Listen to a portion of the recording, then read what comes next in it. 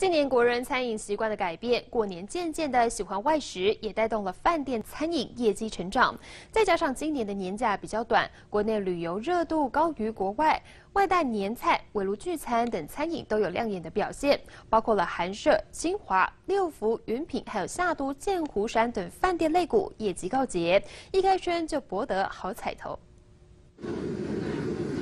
大厨们忙进忙出，各式汤品、干贝、鲜虾，经由厨师巧手精致摆盘端上桌。近年来，国人饮食习惯改变，过年不在家里开火，饭店围炉或是年菜外带成了风潮，也带动饭店业者春节期间业绩强强棍。装饰围炉部分的话，我们今年是第二年推出，那就是借着去年的一个好口碑，那我们在今年有呃六成的一个成长量。那其实这是一个很难得的机会，可以试到我们一个中式的餐点。那呃我们大概有四十一桌的一个桌数，那大家可以聚在一起围炉参加活动抽奖。韩舍旗下台北喜来登表示，十二厨、成员、请客楼等餐厅在去年十一月都已经预约客满，加上今年春节假期短，初二便出现北返人潮，各餐厅也较往年成长，维持满位状态。春节餐饮业绩含年菜外带已经超过三千一百万元，年增将近百分之五。我们酒吧呢，大概是有三成左右的成长，那表示。是，其实国人现在不再仅限于就是有中式桌席的选择，那反而大家也会啊吃些轻食啊或者什么作为过年的呃餐席。韩舍集团旗下爱美以及爱丽酒店各餐厅也都有亮眼表现。除夕到初二客满之后维持七成到八成左右的水准。金华今年则是强打年菜外卖，